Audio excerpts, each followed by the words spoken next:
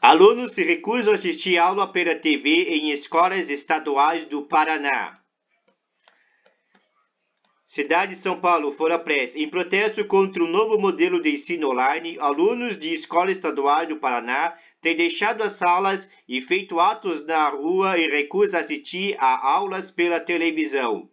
O governo Ratinho Júnior PSD contratou neste ano uma faculdade particular para dar aulas à distância aos alunos do ensino médio, disciplinas que compõem o que chamam de itinerário profissionalizante. Sem ter professores em sala de aula, a gestão defende que o novo modelo fez com que o Estado conseguisse mais do que duplicar a oferta de vagas em, ensino técnico, passando de 15 mil matrículas em 2021 para cerca de 37 mil neste ano.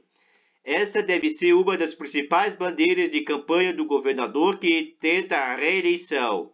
Para especialistas, no entanto, o modelo usado para ampliar o número de vagas na modalidade não pode ser comparado ao ensino técnico tradicional. Eles dizem que as aulas remotas não garantem uma formação profissionalizante adequada, já que não estão previstas atividades práticas, trabalho e laboratório, entre outras.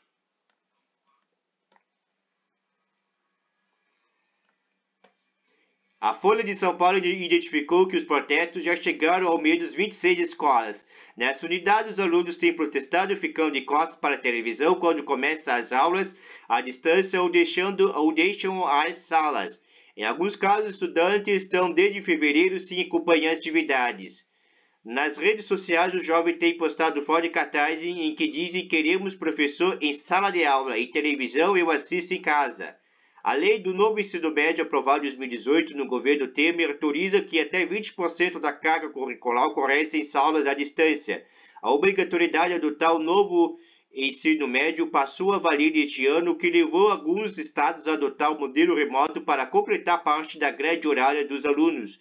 No Paraná, os alunos relatam que as aulas são transmitidas ao vivo em um televisor que fica na frente da sala. Muitas turmas têm mais de 40 estudantes, o que torna difícil que todos consigam ouvir e ver o aparelho. Além disso, as aulas podem ser transmitidas simultaneamente para até 20 turmas de escola diferentes, ou seja, o único professor dá aula à distância para cerca de 800 estudantes de primeiro ano do ensino médio. Durante essas aulas, o monitor acompanha os estudantes e esse profissional, no entanto, não precisa ter formação na área, já que sua função é auxiliar em com questões tecnológicas, por exemplo, ligar a televisão e enviar as dúvidas da turma para o professor.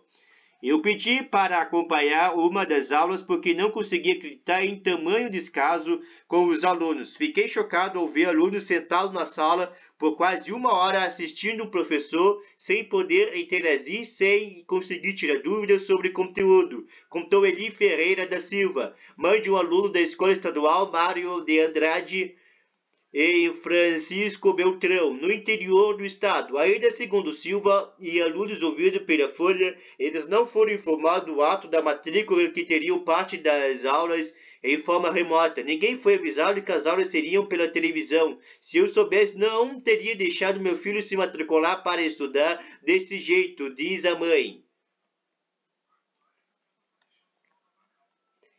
Alunos protestam contra aulas à distância. Escola Estadual do Paraná servo pessoas. Aluno protesto contra aulas à distância em escolas estaduais do Paraná. Segundo a CERT, Secretaria de Estado da Educação e do Esporte, as aulas à distância foram contratadas apenas para a disciplina de três cursos Administração, Agronegócio e Desenvolvimento de Sistemas. Eles passaram a ser ofertados depois de a pasta fazer uma enquete com os estudantes e identificar que 60% dos que estavam no nono ano do ensino fundamental diziam ter interesse em cursar ensino técnico no ensino médio. Esses três cursos foram os que tinham mais procura para ofertar as aulas à distância por três anos, período para a conclusão do ensino médio, a Secretaria contratou a Unicesumar, faculdade particular, por 38,4 milhões de reais. A Folha procurou a faculdade para comentar sobre as críticas dos estudantes, mas não obteve resposta.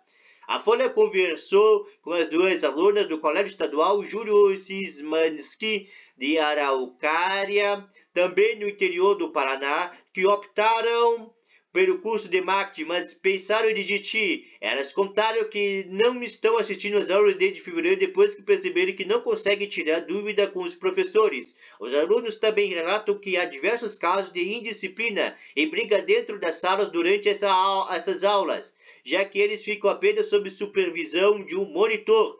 Na maioria das vezes, esse profissional é um estudante de licenciatura, ou seja, sem experiência com sala de aula.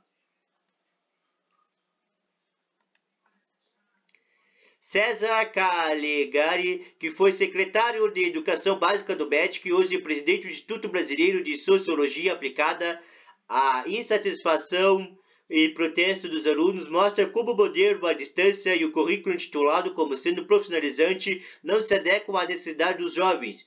O que está sendo ofertado no Paraná não é nem ensino à distância nem presencial, já que o EAD tem uma estrutura totalmente diferente. Também não é um ensino profissional, porque não está preparando esses meninos para a prática do mercado, ou seja, é um engodo, cria uma miragem de ensino, diz. Segundo ele, um dos principais riscos é de que o formato aumenta a evasão escolar. Aluno frustrado com a má qualidade se sente respeitado, enganado, e esse aluno percebe que a escola não se importa com o que está aprendendo e por isso ele fica desestimulando e abandonando os estudos. Renato Feder, secretário de Educação do Paraná, defende o modelo adotado como uma forma de garantir que mais alunos possam ter acesso ao que ele chama de ensino profissional. Ele também diz que a insatisfação atinge um número pequeno de estudantes. Muitos alunos queriam fazer o um ensino médio profissional, mas a gente não conseguia atender todos.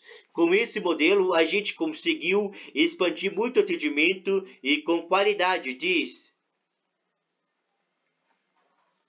Segundo ele, mudanças pedagógicas e estrutura devem ser feitas ao longo do ano para melhorar as aulas. Diz, por exemplo, que algumas salas devem receber telões e caixas de som para substituir as televisões e melhorar a visualização dos alunos. Também diz que os professores foram orientados a dar aulas menos expositivas, ou seja, sugerindo que os alunos façam alguns exercícios. É o primeiro ano desse modelo, por isso alguns ajustes vão ser necessários e isso é normal. O secretário também disse considerar que 95% dos alunos estão satisfeitos com o modelo, já que, segundo ele, apenas 5% desistiram dos cursos desde o início do ano.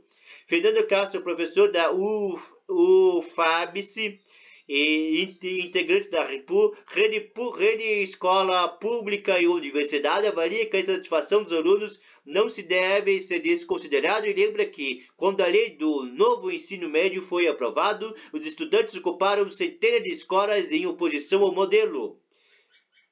Os estudantes do Paraná estão pedindo para ter professores em sala de aulas. Eles estão reivindicando conhecimento, estão dizendo qual é a escola que querem. Deve prestar atenção a isso. Menosprezar essa demanda é menosprezar a educação, diz.